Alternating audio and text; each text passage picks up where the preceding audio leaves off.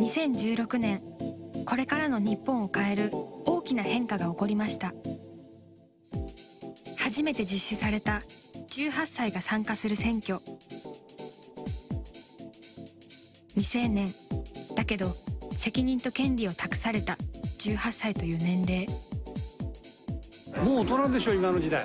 今はこれだけ知識が溢れてたらあらゆることを吸収してるんじゃないですか。でも大人であってほしいと思うわよねだって選挙権もあるんだし。普通にお酒も二十歳とかからですし社会の目がなんかその18歳っていうのは子供として扱ってるなっていうふうに感じることは多いです。ね自分たちから見たら大人かなって思うけど大人とかから見たら子供なのかなって。大人でもあり子供でもある特別な年齢になった彼ら。NHK ではそんな18歳たちが抱えている思いをぶつけてもらおうと一つの企画を立ち上げました。それが18フェスです。日本全国の1000人の18歳たちと一度限りのステージを共に実現させる企画です。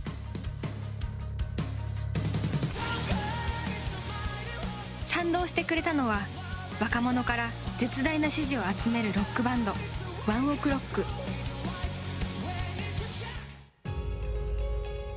デビューから10年。変わらずに熱い気持ちを歌い続けてきたワンオクロックが18歳たちと共に作り上げる一度限りのパフォーマンス。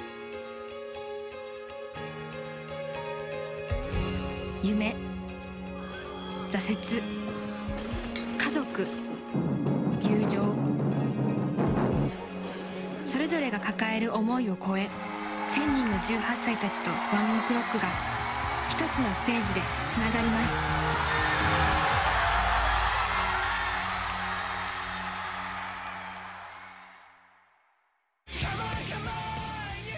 これまでメディアにほとんど姿を現さず独自の姿勢を貫いてきたワンオクロック。今回は18歳たちの思いに共感し18フェスに賛同しました。18フェスでは彼らが18歳の思いを受けて新曲を作ります。その曲で1000人の18歳と共演するという前代未聞の企画です。共演するのは1000人。全国から送られてきた思いの丈をぶつけた動画を見て選考が行われました。応募者に求められた絶対条件は本気度と熱さ。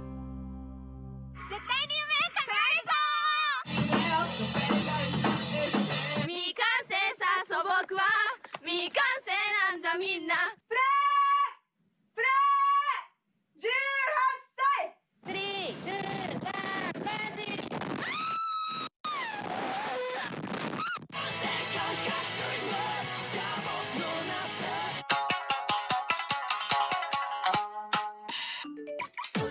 ィ共演内容は未定のまま。全国の18歳たちからさまざまなジャンルの動画が寄せられましたそして募集開始から1ヶ月。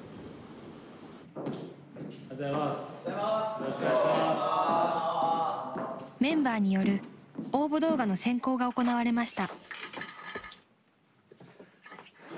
いっぱい届いてる。応募動画に込められた思いを受け18フェスのために新曲を作ります。楽しみだ。すげえな。うわすげかっこいい。へえ。かっこいいよね。いいね。えー、かっけえな。僕はフランス系カナダ人のハーフなんですが正直そのおかげで小中学校とも辛い思いをしてきました。でもかっそのネこいいのになガティブだった僕はある日ワンオクというバンドを知りロックに初めて触れましたそして音楽を始めるきっかけになり今ではバンドのボーカルをやっています。いいじゃん。え、めっちゃすげえじゃん。えすげえ。私は今から I will always love you の口パクを全力でしたいと思います。見てください。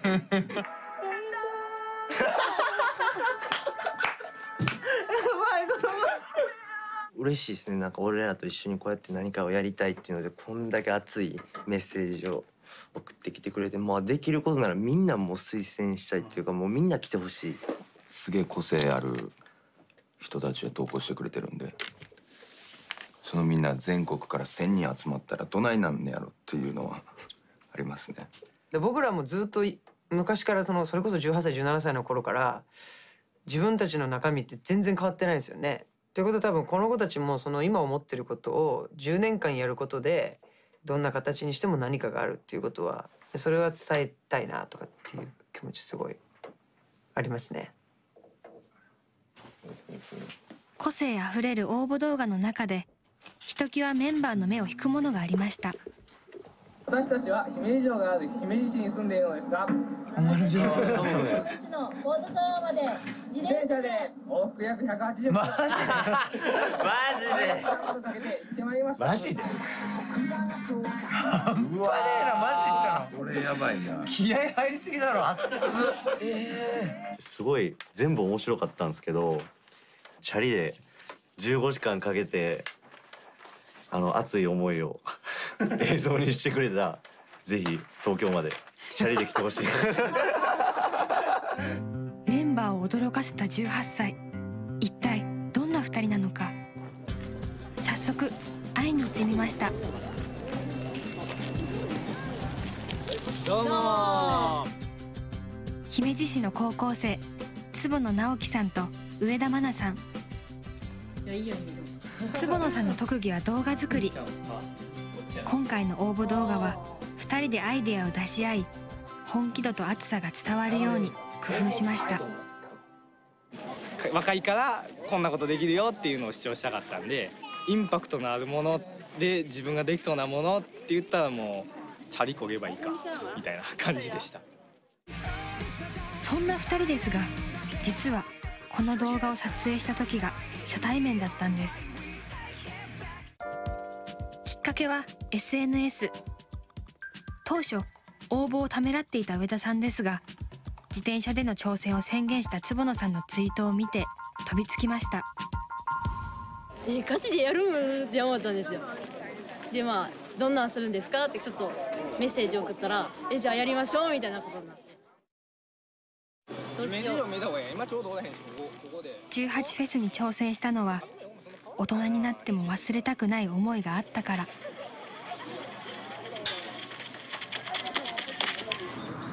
冒険心とかを忘れたくないですね。バカでいたい。うん確かに。今と変わらんくこんなことしとったなって思思いたいですね。坪野直樹上田愛菜18フェス18歳たちから送られてきた応募動画ではたくさんの夢が語られました。世界に通用する、えーボーカリストになるのが夢です。ダンスの世界大会で優勝することともう一つは大好きなワンオクロックさんと共演することです。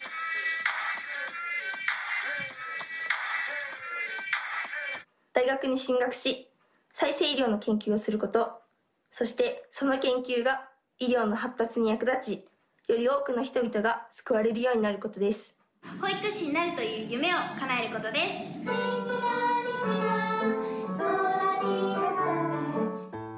東京都の渡辺龍馬さんも熱く夢を語ってくれました。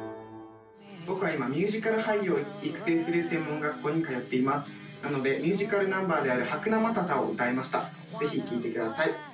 心配ないさこの世のことは白生タタ白生タタ渡辺さんが現在通っている舞台の専門学校にお邪魔しました。ボイストレーニングや歌。さらにダンスのレッスン。ちろん演技の授業も。あ先生。空があんなに。あ先生空があんなに。あそこはお前ねもっとフレッシュにやってほしかったのお前。全部厳しくも充実した修行の日々です。去年4月福島から単身上京し夢に向かっている渡辺さん。しかし俳優になると両親に告げた時は反対されました。将来ご飯食べていけるのかいってこうまっすぐ聞かれて何にも答えられなくなっちゃって。そこで諦めなかったのが18歳なんだろうなって。子供から大人になる人生決める瞬間なんでだからこそ押し切れたのもありますね。夢をつかもうとしている今だからこそ出せるパワーを18フェスにぶつけます。僕みたいにその夢を追っている人もいるだろうし今どうしたらいいか分かんない人もいるだろうしそういう人生のターニングポイントにいる僕らのエネルギーを18歳本気出したらこんぐらいできるんだぞってちょっと見せてやりたいなってのはありますね。渡辺龍馬18フェス。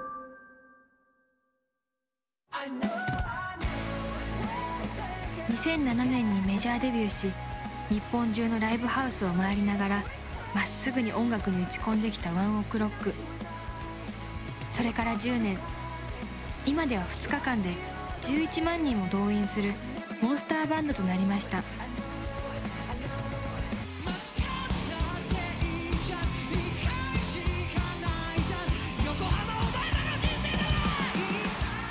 間変わらず歌い続けてきたのは自分を信じ夢を諦めないことの大切さ背中を押してくれるような熱さが若者たちに力を与えてきました。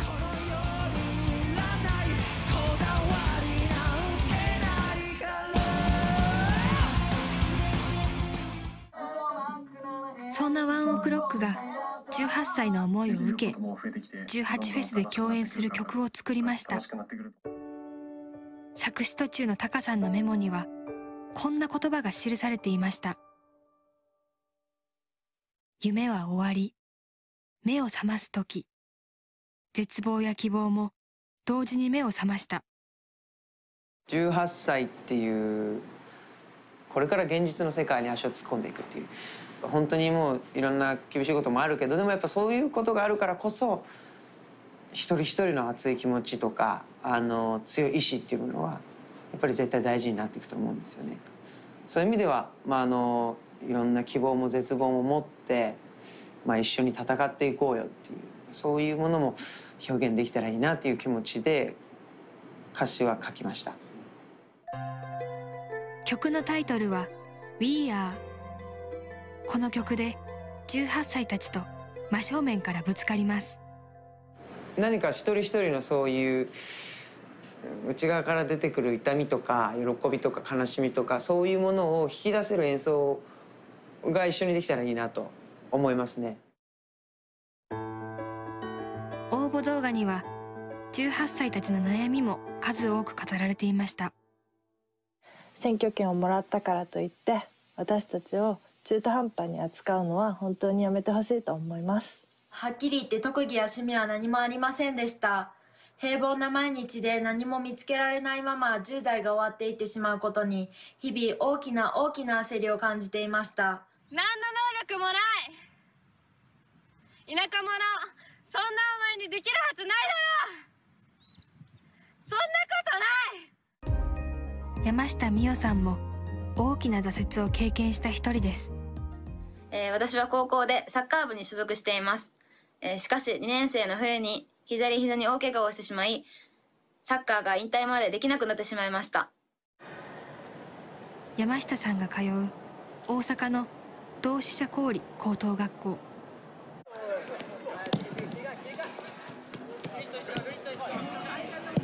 3年生の山下さん。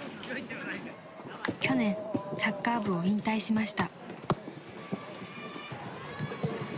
やりきりたかったしもう悔しすぎて。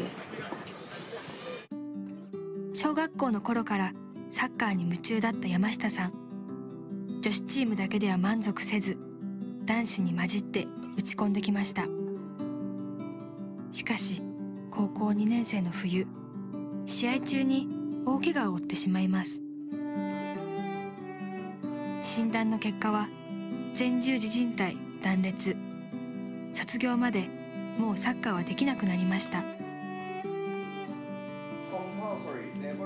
春からは大学へ進学する山下さん。しかし打ち込んできたサッカーをやり遂げられなかったことで自信をなくしていました。高校生活で何か一つ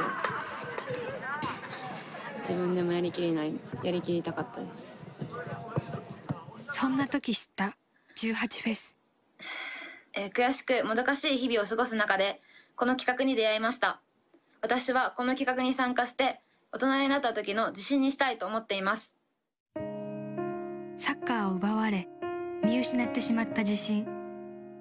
18フェスを最後までやりきって取り戻したい最後なんかあ応募してよかったって思えるように頑張りたいです。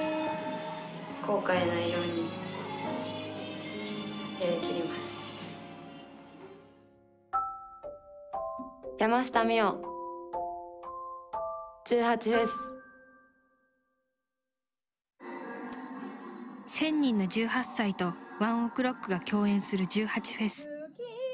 共演の形を探る中応募動画を受け18歳一人一人の思いがぶつかり合うステージにしたいと感じたメンバー。それにふさわしい共演の形を考えました。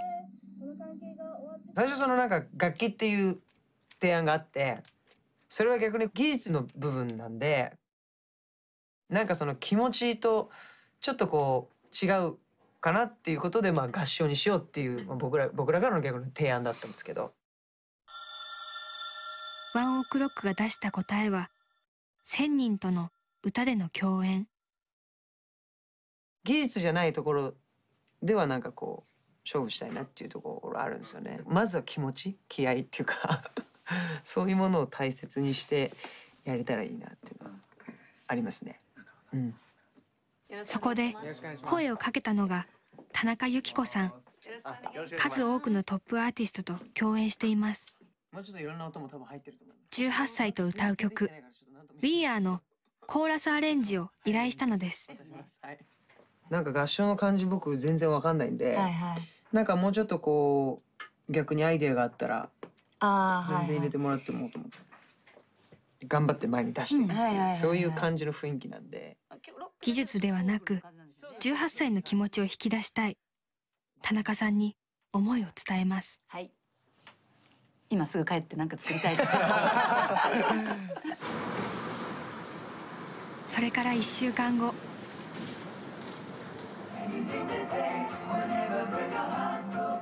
早速田中さんがコーラスアレンジのデモ音源を用意してくれました。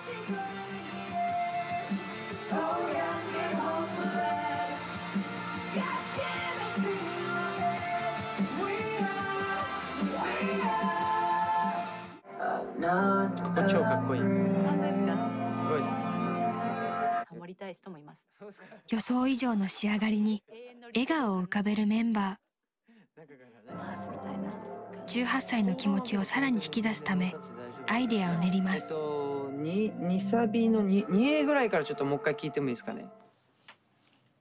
なんか一個あったらすごいよよかったかな。ちょっとみんなに。1000人が抱えている思いをもっと表現できる方法はないだろうかそこで田中さんからある提案が。でも合唱だけを出すそれは曲の後半最後の盛り上がりへ向かうきっかけを18歳だけで歌うというものでした。それこそなんか合唱っぽくみんなで歌ってた方が伝わる可能性もあるし1000人一人一人が抱える感情を一気に爆発させてもらおうと考えたのです。その子たちが歌ってる時にすごいいい顔をするようなそんなパフォーマンスを僕らも一緒にこうできたらいいなと思います。そして10月待望の合格通知が1000人のもとに届きました。喜びを爆発させる18歳たち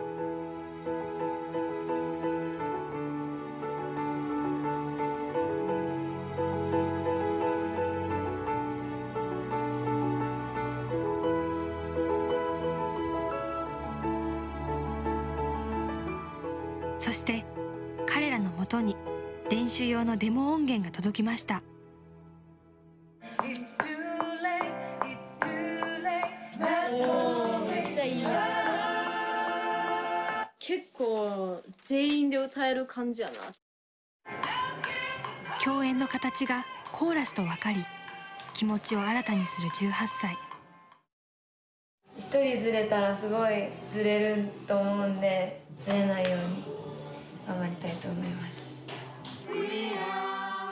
ワンオクロックと共演するという実感が徐々に湧いてきた18歳たち。そしてより一層熱意を燃やす人が宮城県古川黎明高等学校コーラス部。コンクールでも金賞常連の実力校です。部長の菅原愛香さん。30人以上の部員たちをまとめています。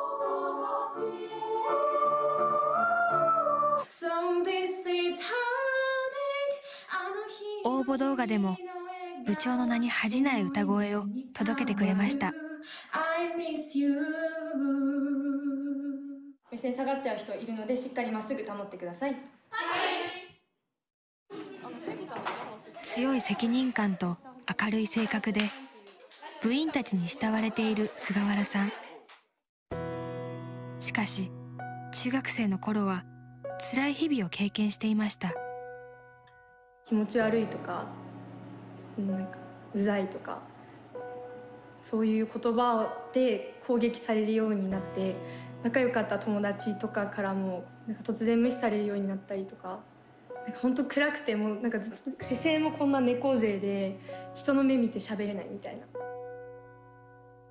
立ち直るきっかけになったのが高校で出会ったコーラス部でした。一番最初にそのコーラス部の演奏を聞いた時に歌っている人たちの表情がやっぱりこう輝いて見えたから私もああなりたい。どういうふうにどういう考え方でそういう顔ができるのかっていうのをこの目で見てみたかったです。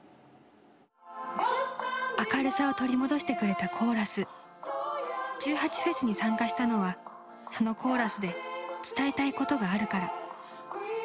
変わりたいと思ってる人とかやっぱ今辛い思いをしてる人ってすごくたくさんいると思うし少しでもそういうふうに変わりたいと思っている人辛い思いをしている人全ての人に元気とか勇気とかそういうものを与えられるように歌いたいです。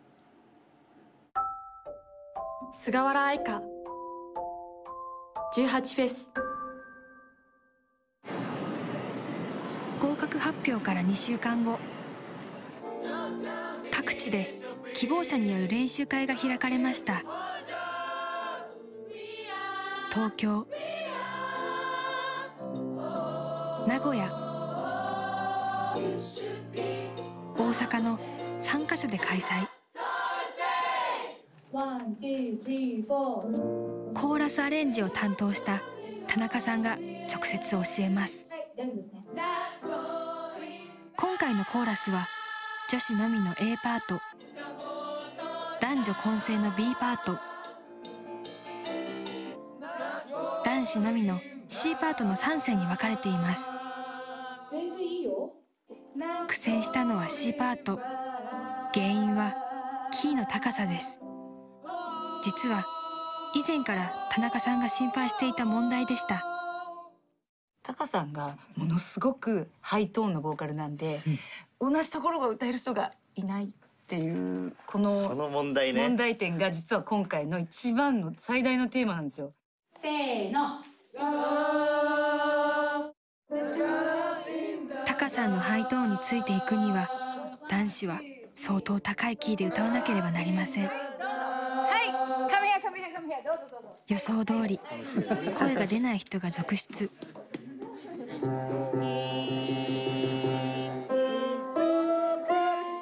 そう。もう一回。景色をその手でしてもらおう機会を設けようと思ってます。できてるえこの声で歌うんですか？そうなのよ。マジっすよ。さまざまなジャンルの動画で熱い気持ちを表現し選ばれた1,000人。歌が得意な人ばかりではありません。その中でお互いに助け合う姿が見られました。これなんか声を張るなんか恥ずかしいですけど恥ずかしいけど私としてはすいません。声を結構張った方が自信持ってなんか声出したら言い。方出るっていうなんか同じステージに立つ仲間同士。徐々に一体感が生まれてきました。そんな中輪に入っていけない人がいました。怪我でサッカーを離れた山下美代さんです。人見知りの性格からなかなか話しかけられません。結局行動できないまま練習は終わってしまいました。参加前も悩み不安を感じていた山下さん。あでも友達作りたいけど作りたいけどちょっとビビってます。練習会の後開かれた参加者同士の交流会。18フェスにかける思いを語りました。私は6歳の頃からバトントワリングというスポーツをずっと続けていて夢を叶えるための第一歩となったらいいと思って応募させていただきました。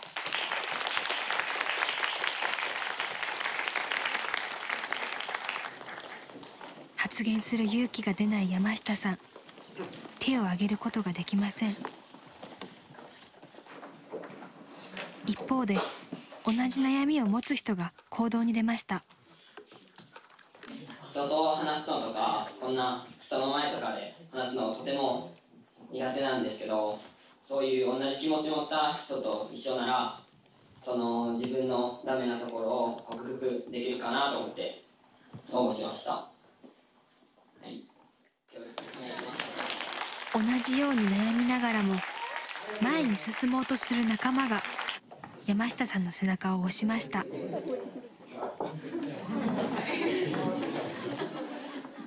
高校で部活やりきれへんかったなと思ってた時にこの18列を見つけて高校生活でこう一個何かやりきりたいなと思って応募しました。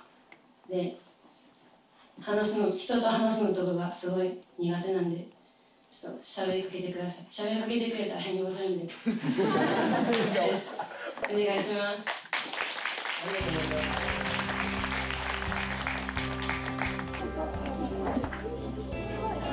と頑張ってみました。勇気を出して思いを伝えた山下さん。仲間たちと気持ちが通じた瞬間でした。各地の練習会で結束を固めた18歳たち。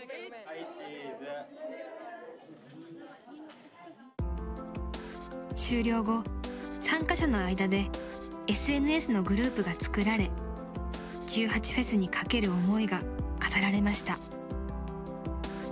熱い思いを持っている仲間たちが世界一のロックバンドとパフォーマンスをしたらきっと何かが変わると信じています。ニュースに映る情けない大人たちにぐさっとくるような感動を与えたい。みんなで奇跡のステージ作りたい。絆を深めながら本番の日が近づきます。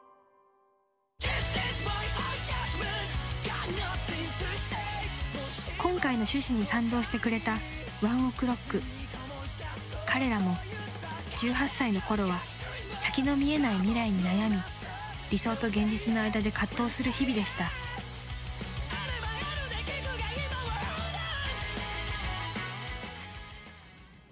この日18歳の頃通い詰めていたスタジオを訪れました。まさに18歳ぐらいそうですね。18歳19歳二十歳ぐらいまでかな。もうほぼほぼずっとここにいてたんで。そうなんですか。機材も全部落ちて。だからツアー始まる前とか、みんなでこう来て一緒にこう車に荷物積んでとか。終わった後もバラシここでやったりとか。10年前実績も未来の保証も何もない頃夢を思い描いた青春のスタジオ。懐かしい。このギターこの毎回こうやってギター毎回ギター弾いてんだよ。このギターもう多分いろんな人が触ってると思います。はいはい。やば。誰かがレコーディングしてる時はボケー。ボケー。デビュー曲のレコーディングもこのスタジオでしたがむしゃらに曲作りに励む日々。中には苦い思い出も。歌撮りのレコーディングがあってそのプロデューサーさんがすごい歌厳しい人だったんですよ。昨日撮ったのより今日の方がいいから全部撮り直そうっつって。でそれでこうずっと歌ってる時に切れてしまってそのままちょっとしくしく泣きながらもうあの勝手に部屋出てってトイレに閉じこもるっていう すごいこうプロデューサーがトントンみたいな「大丈夫?」大丈夫じゃねえよ」とか言って。18歳の頃の思い出に浸ったメンバー原点に触れバンド結成当時を思い出しました僕は15歳で東京出てきたんですけどまあ亮太と一緒にで当時中学校3年生ぐらいの時に自分は本当に何をやりたいんやろうと。将来どうしたいんやろうと。思った時にたどり着いたのがバンドだったんですよ。ベース持ってるやつに借りて「ちょバンドやりたいから弾いてくれ」っつって渡して。ベースなんて全く弾いたこともないし音楽本当にそんな興味なかったんで。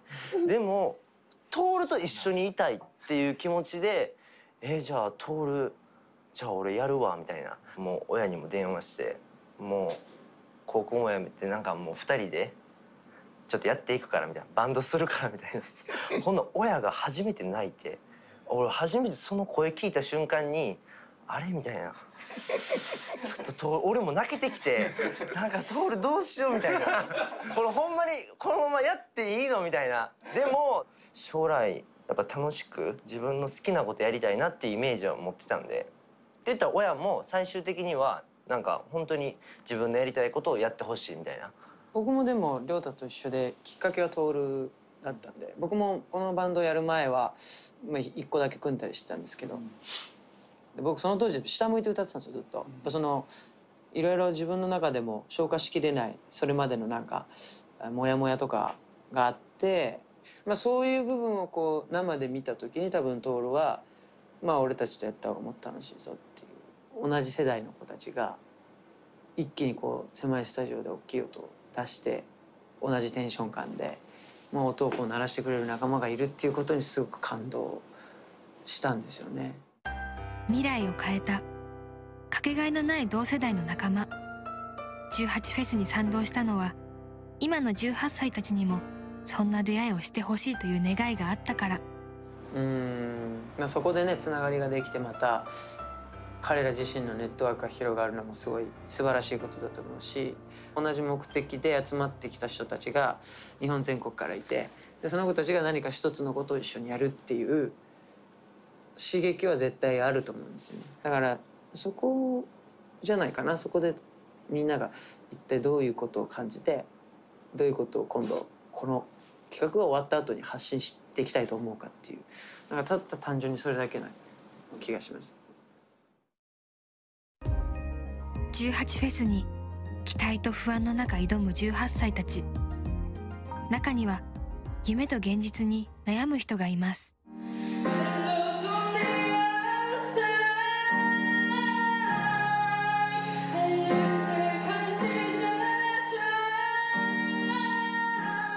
圧倒的な歌声を聞かせた折笠美優さん。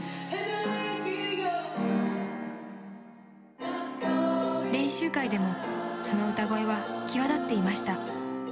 みゆちゃんがめっちゃ上手なんで 頼ってます。癒される耳が。折笠さんが通う北海道の酪農学園大学。広大な敷地で動物と触れ合いながら学ぶ専門性の高い大学です。折笠さんはここで酪農や食と健康について学んでいます。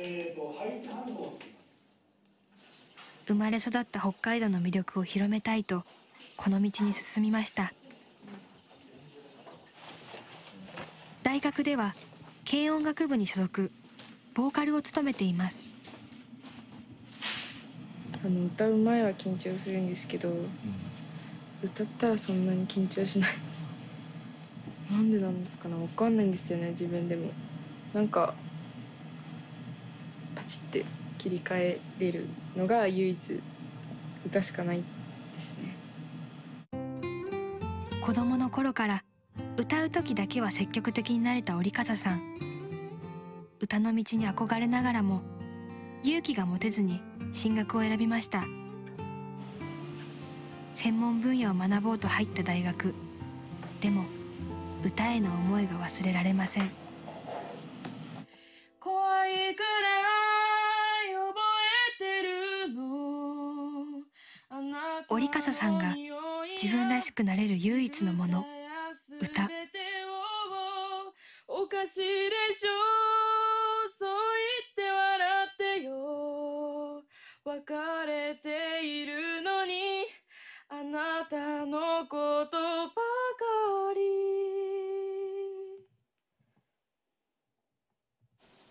もうきっぱり諦めちゃえば楽なのかなって思う時もあるんですけどでも絶対後悔すると思うんですよね。自分の気持ちとこう今の状況が合わないからなかなか前に進めないです。大好きなのに怖くて追いかけることができない夢。歌。今回ワンオクロックと一緒に歌う曲「We Are」の歌詞が胸に刺さります。自分をごまかし生きることに意味はあるか。聞いてくれてる人に 言うんじゃなくてもう自分に言い聞かせるように歌ってます。迷いながら応募した18フェス。このまま今の道を進むか歌の道へ向かうか自分の気持ちを確かめる場にしようと決めました。自分をごまかし生きることにどっ。ちになっても受け入れますね終わった瞬間の気持ちって絶対本音だと思うんですよ。その気持ちを受け入れた方が絶対これからうまくいくと思ってます。折笠美優。18フェス一方自分の夢を決め打ち込む人も。埼玉県の笠原浩平さん。料理人を夢見て去年から調理師の専門学校に通い始めた笠原さん。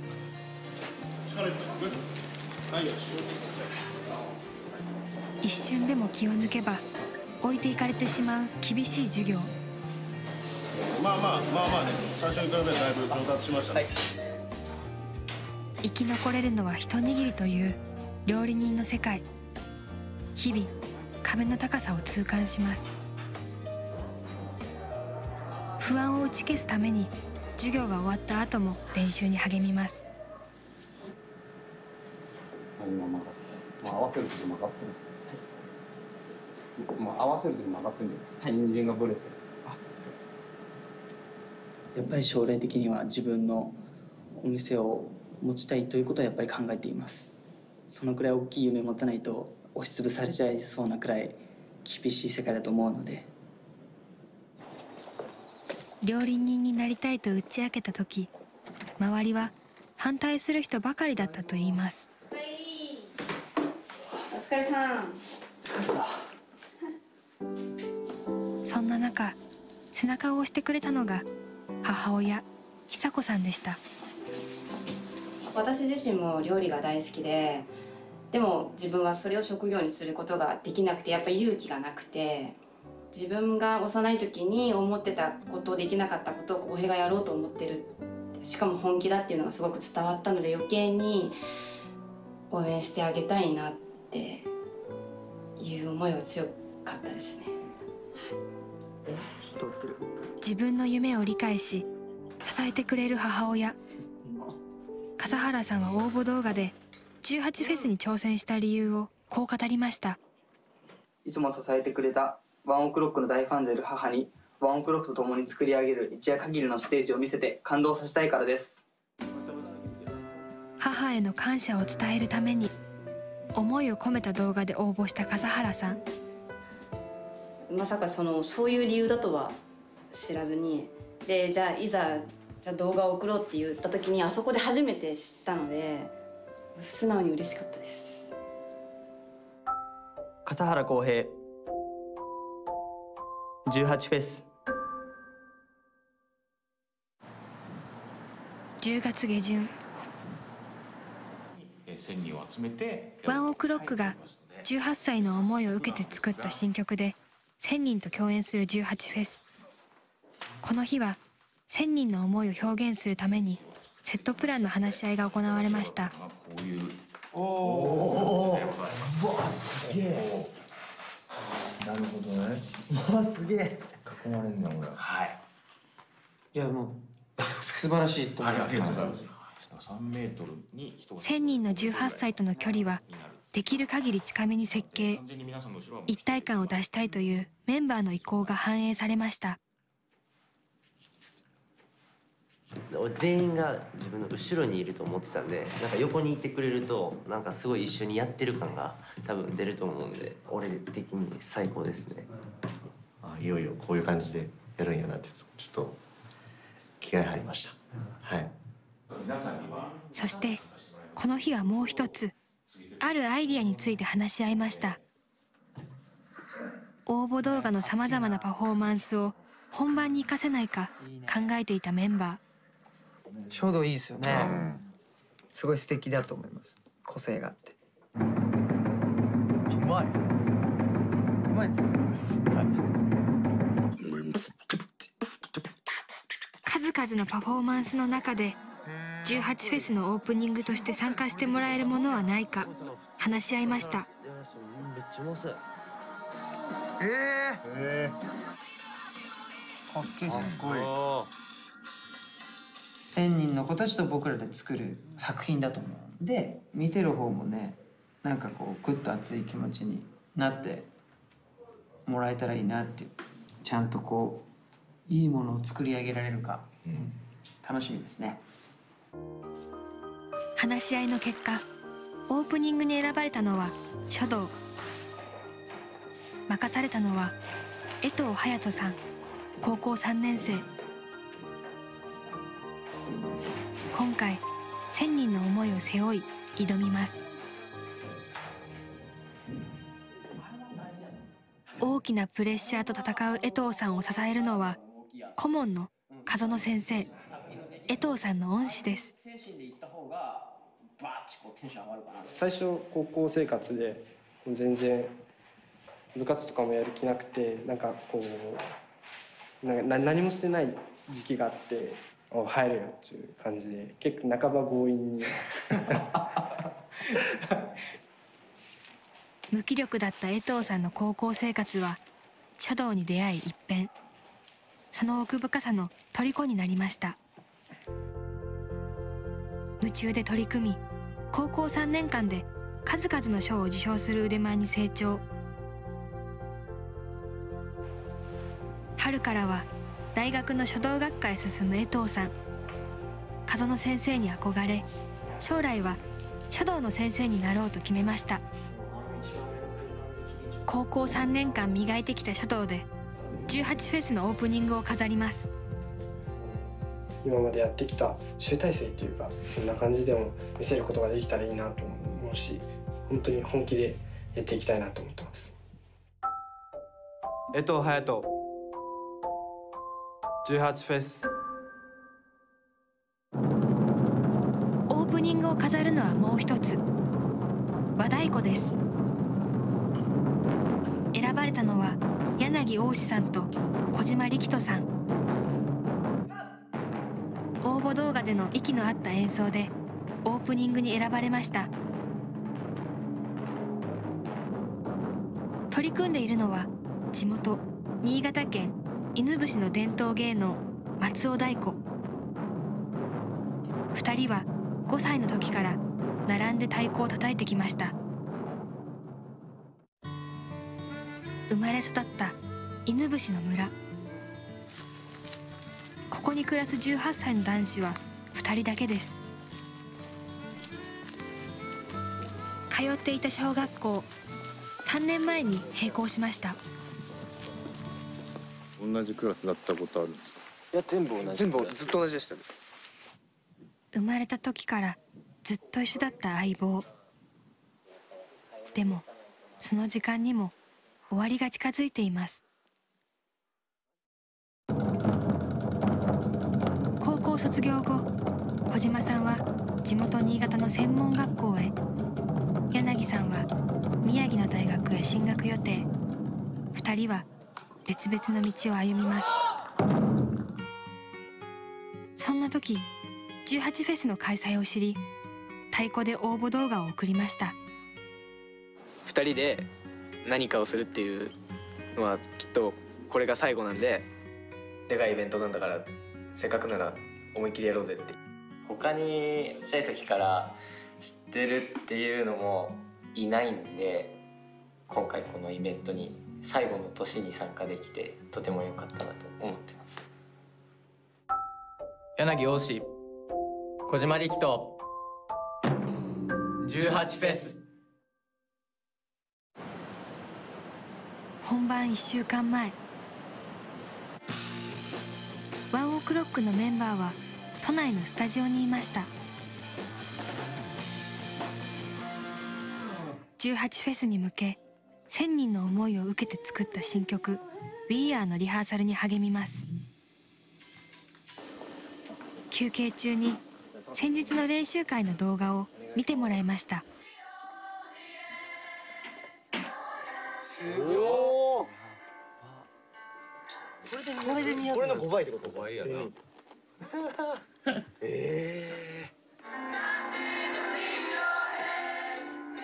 本番にかける18歳の熱意がメンバーの胸に響きます。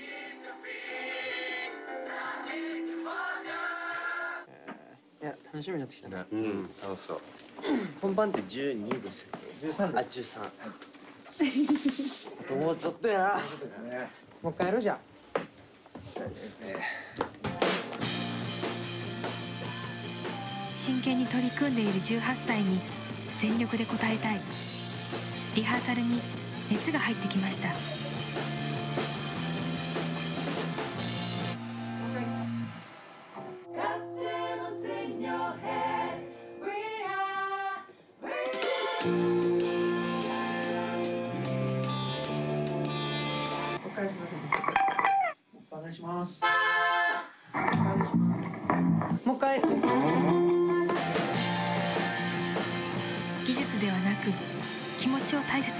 しい。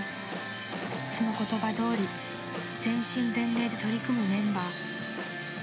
本番は目前。18歳に負けない熱さを胸に臨みます。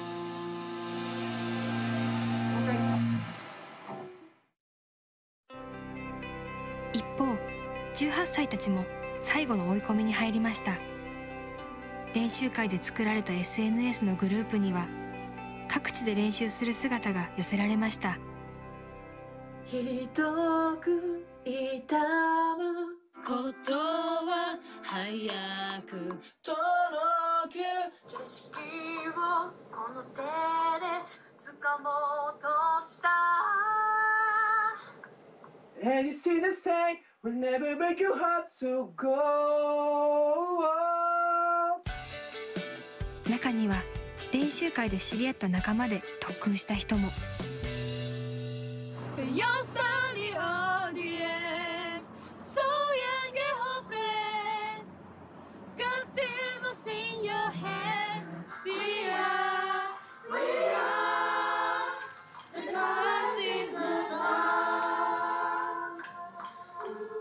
ビーアーを通じてつながり合う18歳たちあとは気持ちをぶつけるのみ。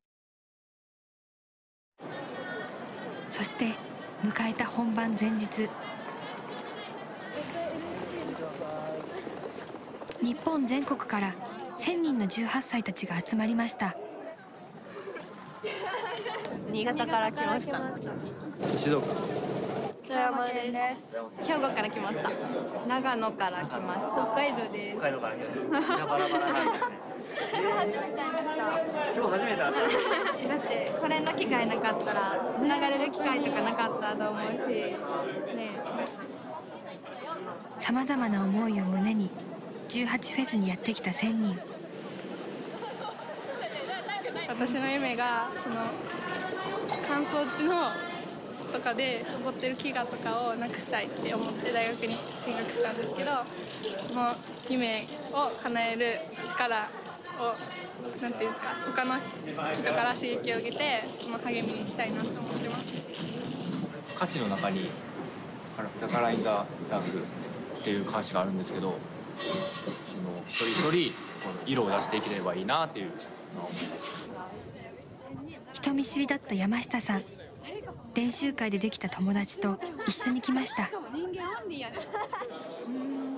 コーラスに救われた菅原さんすごい本当1000人っていうのがどんぐらいの規模なのかわからないですけどでもとにかくこうみんなでつながれるようなイベントにできたらいいなと思います。兵庫の自転車2人組坪野さんと上田さんもステージへ向かいます。やっぱこれ。えこれはすごい。予想外れた。18歳たちは観客ではなく出演者ワンオクロックが立つステージとの近さがその事実を語ります。なんか想像以上にそのステージが近くて。ガチすぎてあの高さ一緒じゃないですか。目線が一緒すぎてやばい。えちょっと囲む感じでワンオクさんをそれでなんか直接伝えられるのでちょっとワンオクさんにちょっと鳥肌立たせるぐらいのいい歌にしたいと思います。全員が一丸となったいいものにしたいですみんなそれぞれの色が出てそれをメンバーと1000人でできるのができたらなんかいろんな違った色でも一つになるんじゃないかなって思います。ステージ手前ではオープニングを飾る太鼓の準備が進みます。柳さん小島さんの2人にもう1人田中里奈さんが演奏に加わります。高校の和太鼓部で鍛えた華麗な演奏でオープニングに参加します。ちょっと緊張して はい。代表っていうかちゃんと自覚持ってやろうって思ってます。書道にも江藤さんの他にもう一人加わりました高蘭さんです。この応募する最終的なきっかけになったのが江藤君の動画だったんです。ホームページに載ってた。応募をためらっていた高さん江藤さんの動画を見て挑戦する勇気をもらったそうなんです。オープニングチームが揃ったのもこの日が初めて。本番に向け緊張感が高まっていきます。そして募集開始から3ヶ月。ついに1000人の18歳たちが揃いました。1000人で初めて声を合わせます。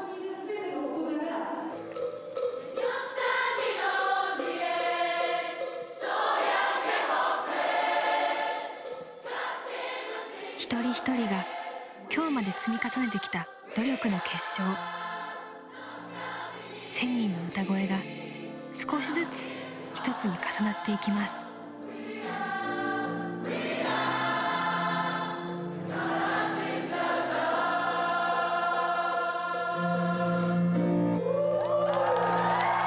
18歳たちから笑顔がこぼれます。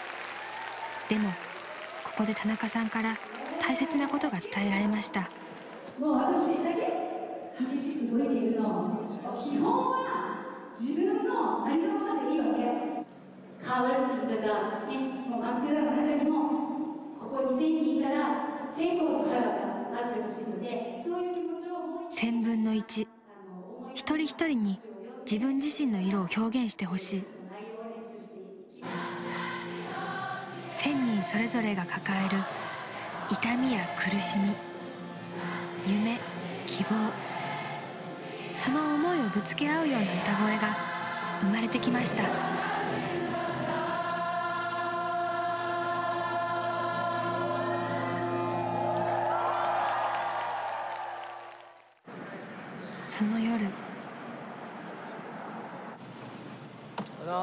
します。お願いします。ついさっきまで1000人があいたんですか？どうでした？いやもう熱気がやばいです、盛り上がりすぎてセット壊れすごいな。会場の下見に訪れたメンバー。初めて実際のセットを目にします。おお。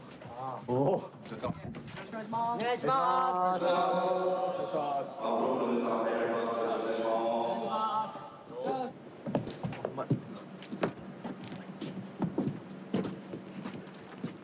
まあでもやっぱここにびっちり入るわけです。もんね1000人がね楽しみです。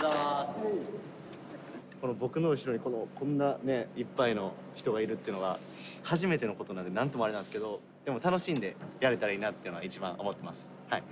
俺もちょっと緊張しちゃうなこれ。こんな感じですね。ああこういう感じでいくんで。ガンガン一緒にちょっと攻めていくんです。まあ、勢いくだけなんでねあっという間に終わると思うんですけど本当に。そのあっという間をいかに濃厚な幸せな時間にできるかなっていうことだけを僕らは考えてというかみんなに届けばいいなと。ステージを回るタカさん本番を前に自分の思いを改めて確かめます。なんかこう明日という日がちょっとしたきっかけになってくれればいいなっていうのはあるので法律が決めた未成年のラインではなくて大人のラインではなくて自分次第でいろんなことを変えられるしなんかすごくなんて言うんだろうな。まあいい意味でみんなにとっての誕生日になればいいなと思いますけどね。はい。そしてついに18フェス当日。いよいよワンオクロックと初めて出会う18歳たち。期待と緊張が高まりますお願いします。お願いします。お願いします。お願いします。いよいよ幕が上がる18フェス。挑戦したい。変わりたい。各自が思いの丈をぶつけたあの日から3ヶ月。リラックスしてあげようまずはね。その思いを受けワンオクロックが生み出した曲「We Are」その歌詞に音に1,000人それぞれが自分自身の姿を重ね今日まで寄り添い励んできた。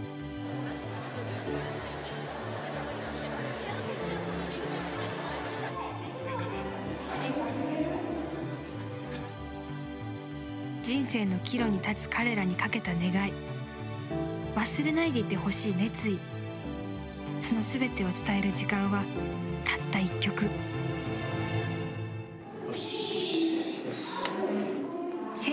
18歳とワンオクロック。紡いできたお互いの思いが交差する短く熱い瞬間。ついにその時を迎えます。おーチェ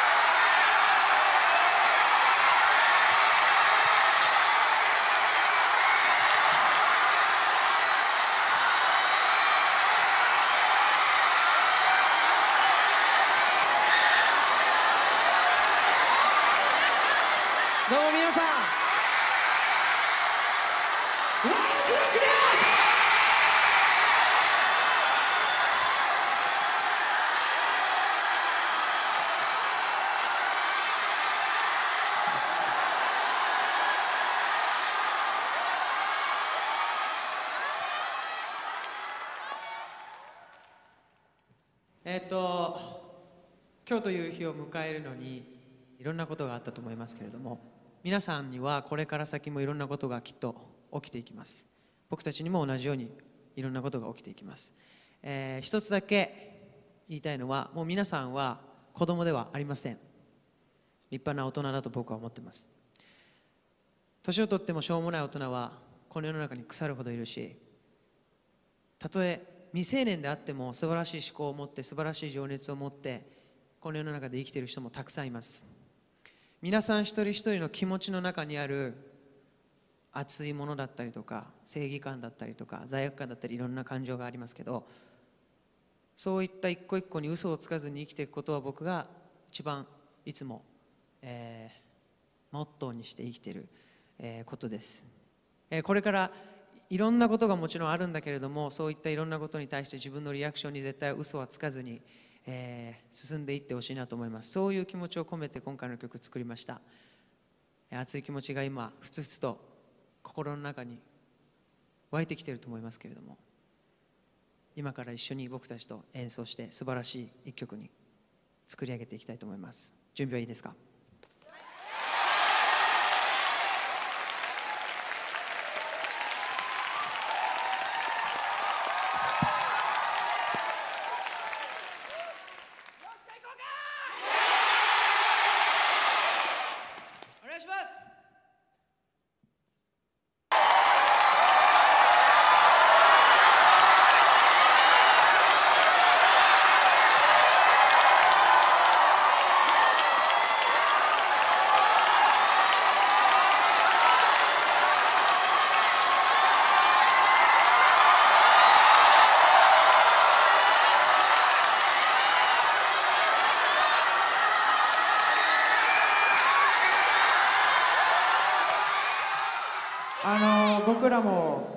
からどんどんどんどん君たちと同じ気持ちとかパッションは俺18歳の頃から全く変わってないからもう10年経っちゃったけど、えーこの後も自分のその情熱が続く限りは同じパッションでずっとやっていこうと思ってるのであの皆さんも俺らに負けないようにその情熱とかパッションを忘れずに突き進んでください。